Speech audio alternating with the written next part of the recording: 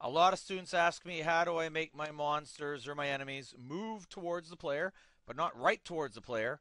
More like this. They actually find a path that somehow leads them to the player. Now, GameMaker has a few things you can do. Uh, the one I'm going to show you in this video isn't my favorite, but it is really easy and it might work for your level or your map. You can realize here that two of those ghosts made it to the player. This one's having a bit of a hard time with this method, but this is very easy to do. So let's show you what we did here and discuss a few of the basics. So what I've done in the ghosts is I've used one of GameMaker's built-in commands called MP Potential Step, and the MP stands for Motion Planning.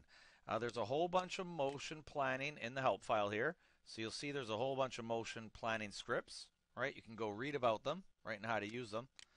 But the way that this one works is this one's called Potential Step, which basically asks the object to take one step, right, a certain distance towards your target. So what I've done here, just for simplicity, is I've made two variables, target x, target y. I've set them to the player's x and the player's y position just to make the typing here a little cleaner.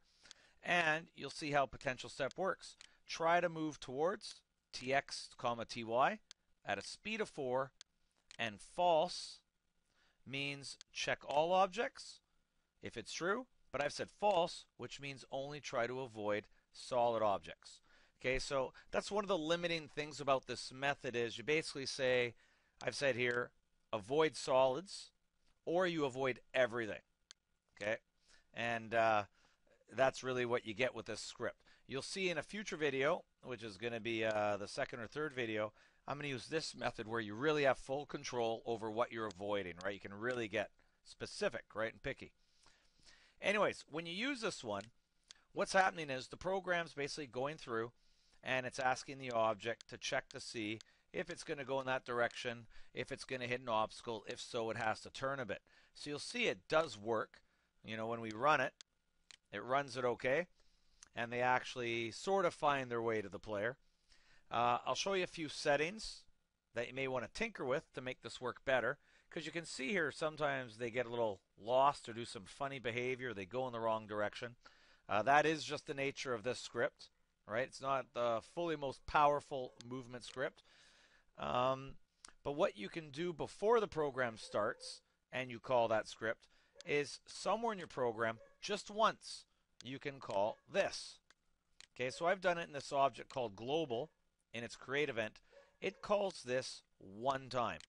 Okay, and you hit some settings, and it's called MP potential settings. If you want a full read up over it, go to the help file and you can sort of read about these settings a little bit more if you want.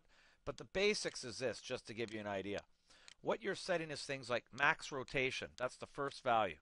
The default is 30. It's telling you how much is the character allowed to rotate, right? So if it's pointing straight to the left, it's only allowed to turn 45 degrees in one step in solving its path. The next one is rotation step. When it goes to solve and check for possible good directions to move, it does this in steps. Like it'll say, by default, it's 10 degrees, and I've left it 10 here. So it's going to say, hey, if I were to go 10 degrees to the left, is that okay? If I was to go 10 degrees to the right, is that okay? And then if that doesn't work, it checks 20 and 20, 30, 30, right? It does it in steps of 10. Uh, if you make this smaller, it can figure out more directions, but it's going to do more computation and uh, require a little more time. If you had 100 zombies using this, it could start to stall the program. You actually will see it start to stall the program a bit, right, if you overuse it. So, you know, keeping this number reasonable, right? Not too small is a good idea. The last one here, or almost the last one, ahead, is how many steps ahead it checks to try to detect a collision. And so here the default is 3. I've increased mine 6 steps ahead. So it looks a little bit farther ahead. It'll detect a wall farther ahead and make its turn earlier on. Again, doing this, more expensive in terms of computation, but it may make your characters move a little bit better. The last one, on the spot, nice easy one.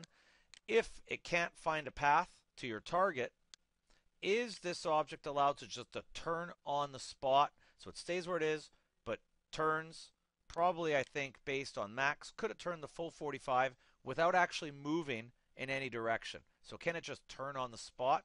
to try to help itself solve.